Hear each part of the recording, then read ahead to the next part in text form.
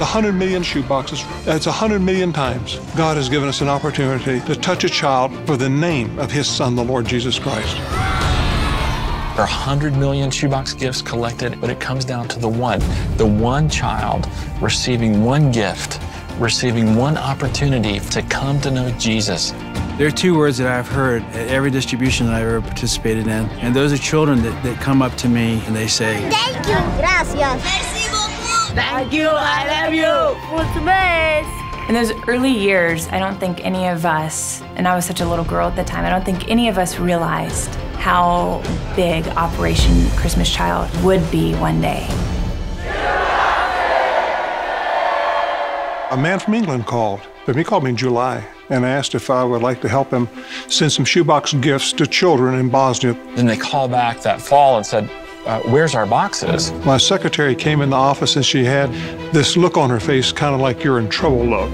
I remember he had to call a friend because he kind of let the ball drop. he called Ross, Dr. Ross Rhodes down at Calvary Church in Charlotte. Ross Rhodes was the pastor. He not only helped us, but the entire church got behind Operation Christmas Child that first year. It was a tremendous outpouring out of that one church. 93, we took the boxes to Bosnia. 94, uh, I think we collected a little over 100,000 boxes uh, in the U.S. and Canada. Uh, 94, 95, I think we really caught a glimpse of what this could be. It's something God has done, and we want to give Him the glory. I remember my very first Operation Christmas Child trip. It was uh, in South Africa, and it was in the fifth grade.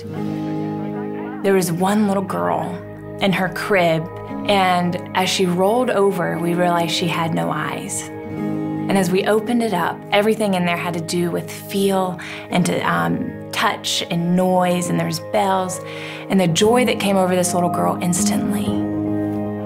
I remember a kid in Bosnia that didn't have a coat, and it was wintertime, and we were in a school, and the windows were blown out, and it was cold. His box had a coat in it. And we have seen over the years where God directed shoeboxes to the right kid at the right time, at the right place, with something that kid needed. And I believe it's because of the prayers that are behind the boxes. So God had a plan.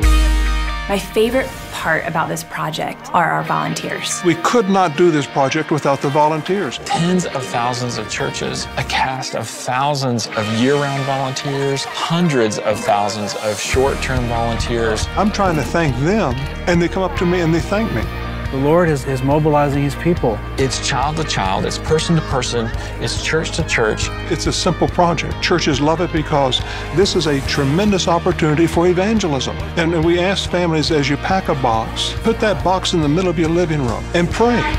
Delivering millions of shoeboxes every year is not an easy task. How do you distribute a million anything?